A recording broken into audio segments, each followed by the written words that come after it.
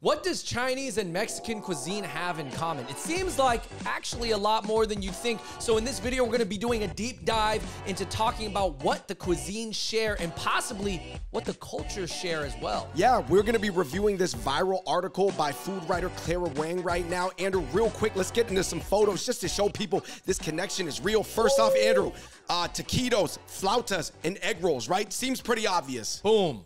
Okay, here we have tamales and zongzis, or, you know, lo mai gais, basically sticky rice wrapped up. Uh, empanadas and certain Northeastern style fried jiaozes. Ooh, here we got menudo, and then you have the Cantonese uh, tripe dish. David, what is it called? Uh, 熬炸一 and uh, we've got Mexican fried fish, and we've actually got a more Southeast Asian dish. But you know, some of the uh, more like minority groups in southern China also eat this as well. Mm. And I've got Hmong ginger chicken as well as uh, Mexican shredded chicken, boiled chicken here. Here we have flour tortillas that look exactly like the Peking duck pancakes, the chun bings or the bings, sorry, from Peking duck, and and they look they're almost made exactly the same too. I would say tacos and some Peking duck wraps, obviously depending on how you make it. Um, Peking duck wraps, obviously going with uh, you know, small taquitos as well. Like you said, Dazui Bing and fajitas. Almost Ooh. we're getting into like Tex-Mex. Yo, those look really similar, bro. Chicharrones and yuk, the Cantonese roast pork. Ah! A runbing from Taiwan, and then a open faced burrito. Obviously, I'm not saying burritos are fully authentic. They're more Tex-Mex. Right. But uh, man, Andrew, Chinese youtiao and Spanish churros, which obviously are really popular in Mexico as well. Let's get down to the peppers, David. Last but not least, these little crispy peppers that we get at Los Tacos number one that I love to eat. They really, really look like the Chinese peppers that come with a lot of Chinese dishes, like Sichuan dishes. Oh my goodness. Make sure you like, subscribe, turn on your notifications, guys.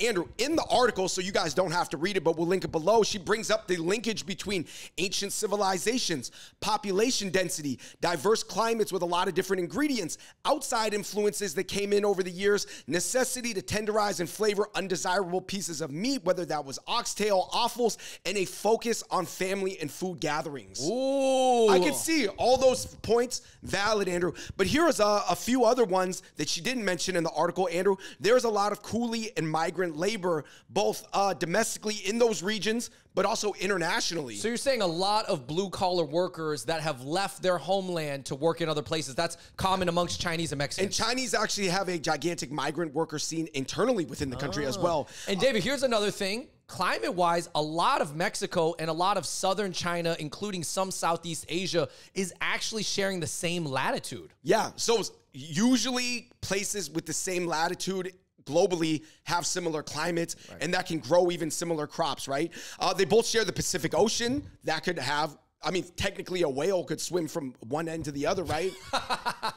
Um, they both have rural agricultural farming cultures, as many ancient places were. Whether mm-hmm. we're talking about, you know, the Olmecs, the Mayans, uh, Incans, or something like that, you know, ancient China.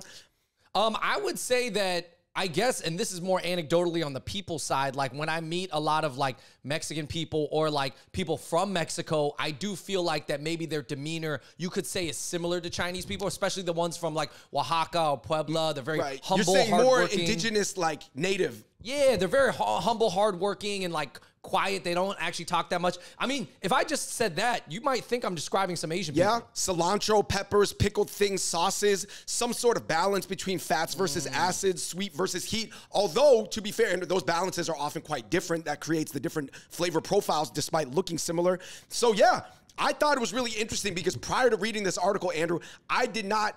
I had thought about it, but I didn't know that there were so many internet threads and articles comparing Chinese and Mexican cuisine. Oh, dude, there's actually a lot. I didn't know that people were asking this question for years. They were like, oh my gosh, you know, and also, David, here's another fun fact that in America, when you poll people and you ask them, what is your favorite ethnic cuisine in America? You know what the top two choices are? Chinese food and Mexican food. Now, are those the most authentic representations of those? Even though you're right, in America, the number one and number two ethnic foods are Chinese and Mexican. Obviously, yeah. Mexican above Chinese. Yeah, and, and people might be referring more to Tex-Mex, like a Taco Bell or or something like that, and they might be referring to Panda Express. But regardless, those are forms of Mexican and Chinese food. Yo, I also looked it up. The average GDP per capita in China and Mexico is kind of similar. Interesting. David, there's even some comments that people left that were so deep cut. They didn't say, oh, it's not just food, guys. It's also the appreciation of jade. Jade jewelry. And here's two pictures of Chinese jade and Mexican jade. Obviously, this is more coming from like the Mayan Incan days when Oh, they were like car.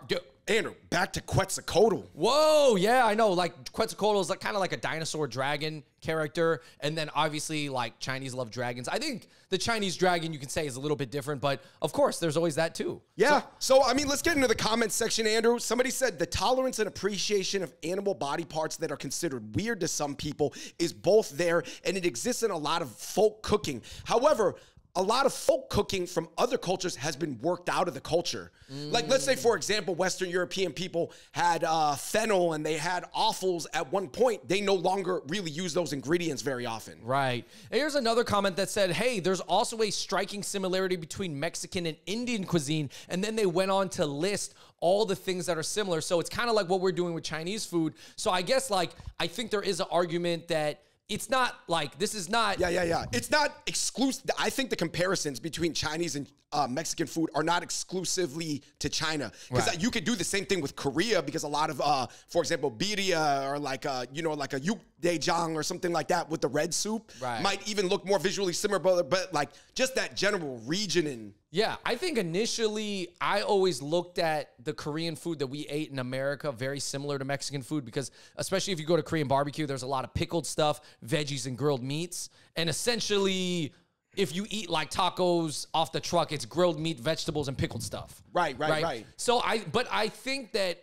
it is kind of interesting to see um, the similarities between Mexican and Chinese cuisine. Also anecdotally because like Mexican and Chinese people work in the same kitchens oftentimes. Right.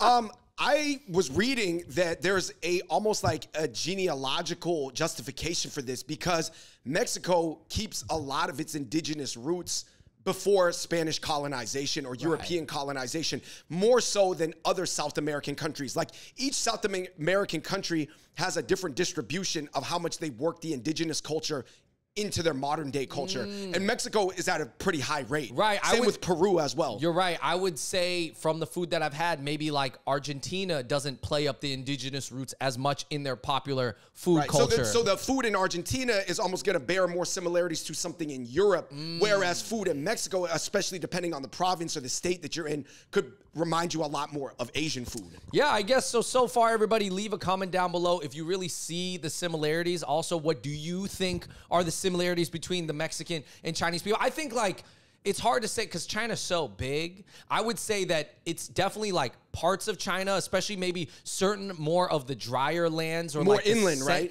inland central china those foods definitely taste more mexican because they have they share cumin spices like cumin beef from the xi'an region and stuff like that Which actually was influenced by the Silk Road, which came to the Middle East, uh, from the Middle East, right? Persia, uh, Mm-hmm. Iran, right?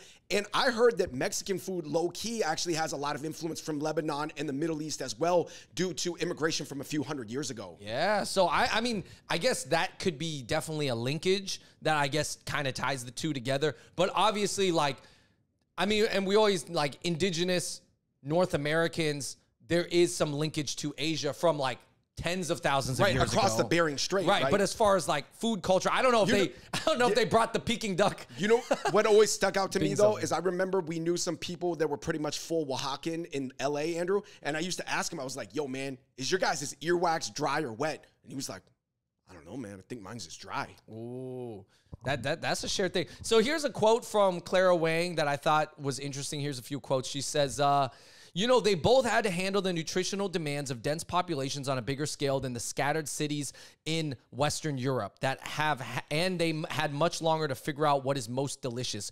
Cooking techniques like braising, stewing, broiling, and steaming, as well as the use of complex spices and marinades, were developed to transform tougher cuts of meat and offal into mouth-watering menudo, flavorful braised pig trotters, and tender oxtail stew. Yeah, I think they always had gigantic like physical labor populations, and you need to feed those people. But oftentimes they don't get the best cuts of meat. But then you need to spice those cuts of meat to make them edible. But over time, what people don't want becomes the wanted. Dude, I guess that definitely I would say a lot of Mexican food also to me visually crosses over with a lot of Southeast Asian food because it's a little bit more tropical too. I think if you look at a lot of foods, not not completely across latitudes, there is similarity. Um, this guy runs a half Taiwanese, half Mexican restaurant in LA. He said, when you look at Chinese restaurants, Mexican restaurants, all day they're just stewing, cooking down, braising, making soups. Like in birria, stewing the meat down, having a taco, but also serving the soup. My mom makes soup for dinner every night so we can have a soup, but we can also eat the chicken that we made the soup with, says Sao, who considers a fantuan like a rice burrito. Yeah. I, I, I almost think, David, does this kind of reconfirm the video that we did a while ago about how Asian and Latino couples are increasing in California? Mm. And Latino, a lot of Asian men and Asian women are marrying Latino men and women now. And it's almost like we always kind of joked about how cultures were similar. And I don't think they're exactly similar, obviously, but of course, there's a lot of like crossover. Yeah. You know? Well, I know that 23andMe for a while, I think they recently separated it out. They just put any sort of indigenous North American, uh, like Native American First Nations Indian blood in with Asian. Right. Like they just categorize it as Mon- Mongoloid. Yeah. Anyway, um, I think that my main takeaway is that I think a lot of the seven most ancient cultures in the world are going to have some similarity. Um, Mesopotamia, which is Iran area, and Indus Valley, which is India, ancient Egypt, China, Mayan, and a little bit less ancient, but uh, more recently, uh, but still ancient Greek and Roman. But yeah, for sure, Mayan, Chinese, Eg- Egyptian, Indus Valley, and Mesopotamia. I think anything that's been around for that long is going to have similarity, in my opinion. Yeah, that's true. Yeah. Um, it's cool to see pictures side by side. Let me know what you guys think the similarities are, or other Asian dishes that you see parallels with with uh, Mexican cuisine or other South American dishes. It's a fun exercise, right? Dude, it's cool. I, want to get some tacos now. We got to. Well, I'm going to get some tacos. All right, everybody, please hit that like button. Leave a comment down below if you learned something from this video. Thank you so much for watching. And until next time, we're the Hot Pot Boys, or should I say the the I don't know how to say pot. Fuego pot. I messed up. Fuego Pop Boys. Until next time, we out. Peace.